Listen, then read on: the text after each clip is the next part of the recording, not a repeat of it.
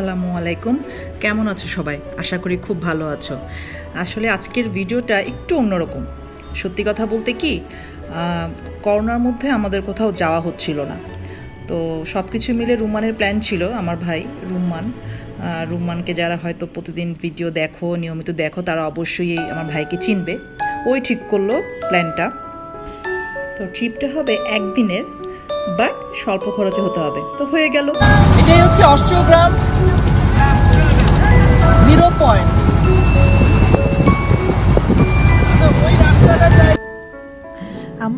Austagram zero পয়েন্টে এসে trawler ভাড়া করলাম পনেরোশো টাকা দিয়ে। তিন ঘণ্টা বললেও আমাদের চার থেকে সাড়ে চার ঘণ্টার মতো ঘুরে আসতে সময় লেগেছিল।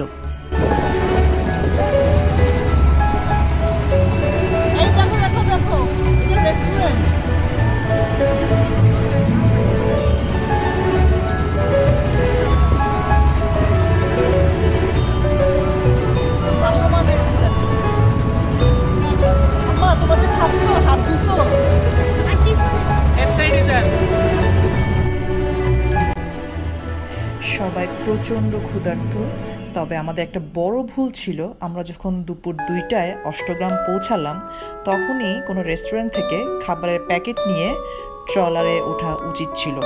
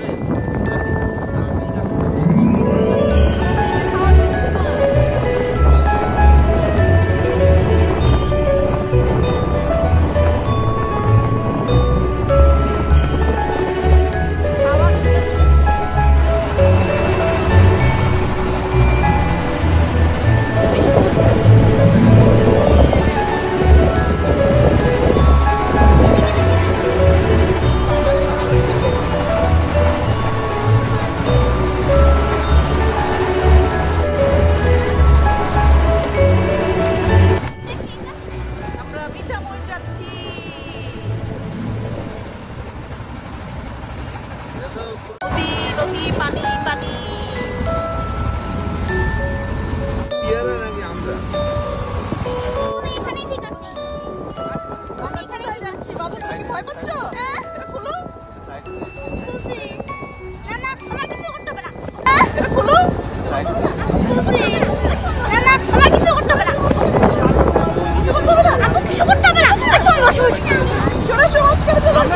মাঝখানে চলে কিন্তু পানিতে নামতে ভয় পাই। পনেরোশো টাকা দিয়ে। আসা যাওয়া তিন ঘণ্টা না? আসা যাওয়া তিন ঘণ্টা হয়ে যাবে। এটা ডিপেন্ড করে হচ্ছে হলো ইয়ের উপরে তোমার স্রো- স্রোতের উপরে। ও ভয় পাচ্ছে ও ভয় পাচ্ছে ভয় পাচ্ছে। এই যে সব গাড়ি দেখছ সব লাইন করে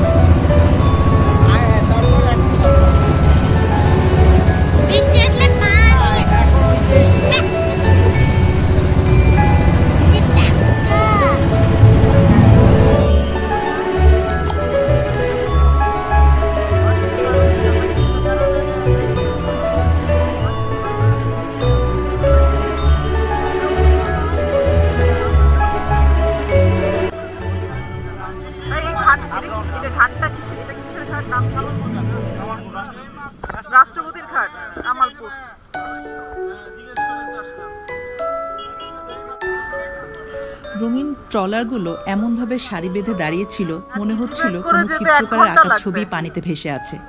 প্রকৃতির অপরূপ সৌন্দর্য সামনাসামনি না দেখলে কাউকে বোঝানো যাবে না। যাই হোক ভাড়া নিয়ে খুব দামাদামি চলছে। শেষে দুশো টাকায় ঠিক হয়ে গেল।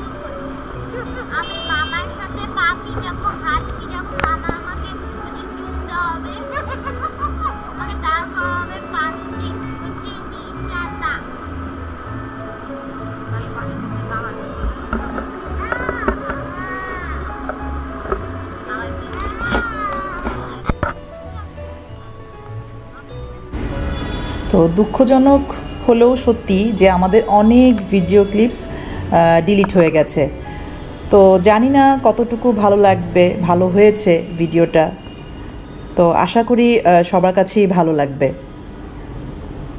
তো এটা হচ্ছে আমাদের প্রথম ট্রাভেল ব্লগ স্বল্প খরচে একদিনের ট্রিপ আমি জানি চোখে দেখা সৌন্দর্য এবং সম্পূর্ণ আনন্দ ভিডিওতে তুলে ধরা যায় না। তো পৌঁছাতে দেরি হওয়াতে আমরা এখানে বেশিক্ষণ থাকতে পারিনি।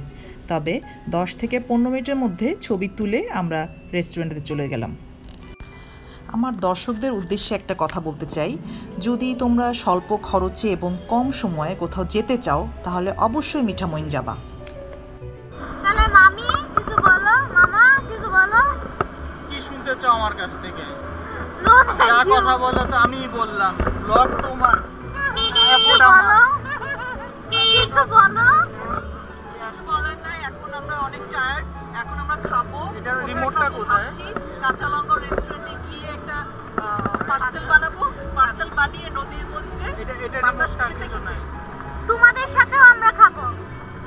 আমরা তোমাদের সাথেই খাব চিচিউ তারপরে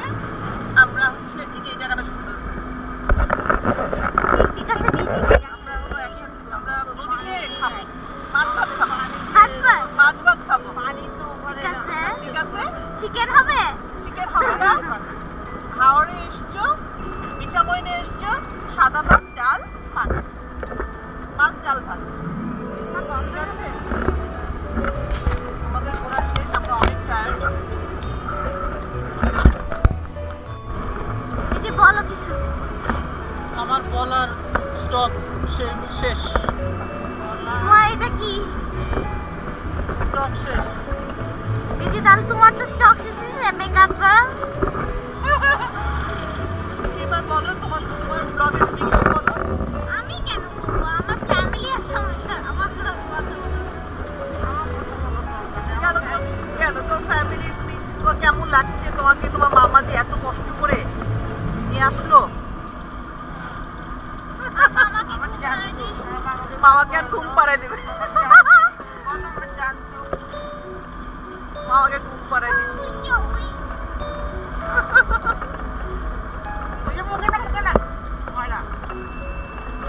আচ্ছা ঠিক আছে। আচ্ছা হয়েছে। আমি আমি খুব খুশি হয়েছি। আমি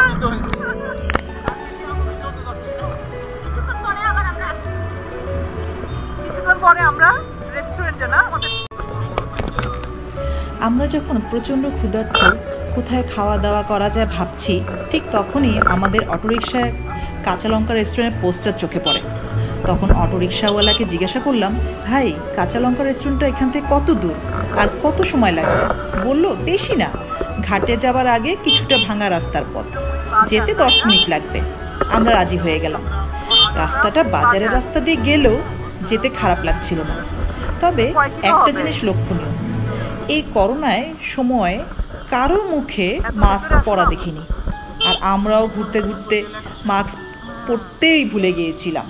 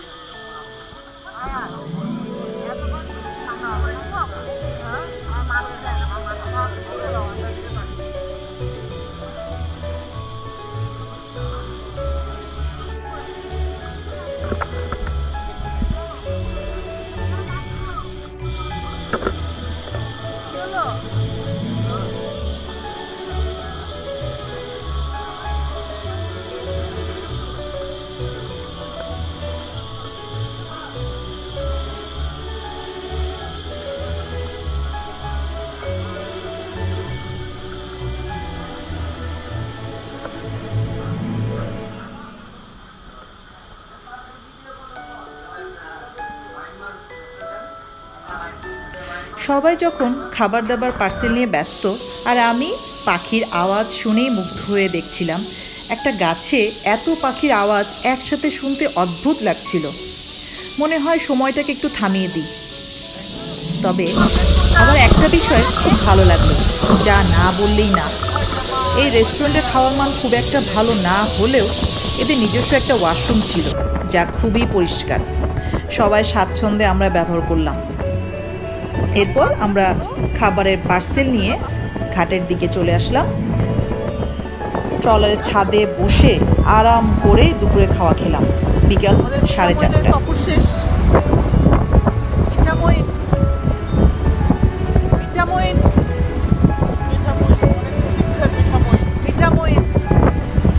দুই ঘণ্টা লাগবে। সন্ধ্যা হয়ে গেছে। এটাও না উঠালা হ্যাঁ। মাছ। মাছ। আবার এই যে কাঁকড়াও আসছে। হ্যাঁ আর নাই? আর মাছ নাই? নাই এখন জাল দেখে সব বাইট মাছ। সব পাই মাছ। হায় হায় হায়। অন্য মাছ বিক্রি হয়েছে গাছ অন্য মাছ আসলে